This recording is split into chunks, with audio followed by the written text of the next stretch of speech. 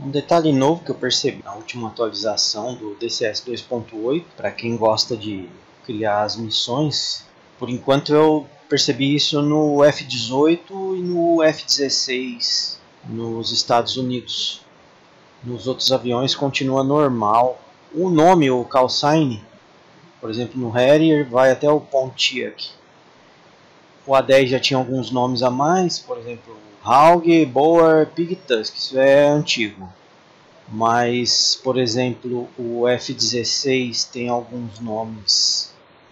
Só dando uma passada aqui rapidinho. O F-14 também vai até o Pontiac. F-15 também. E aí o F-16 tem novos nomes, bastante até. Jedi, Ninja, Wild, Weasel, Wolf, Panther, Hadler, Python, Cowboy, Lobo, Venom e Viper. Então, bastantes nomes aí que dá para criar.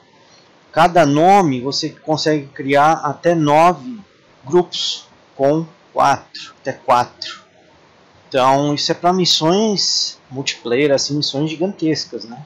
Uma loucura, né? E o F-18 também tem nomes em específico. Hornet, Squid, Hagin, Roman, Sting, Jury, Joker, Han, Hawk, Devil, Jack, Snake, Ceratus. Deve ser assim que fala.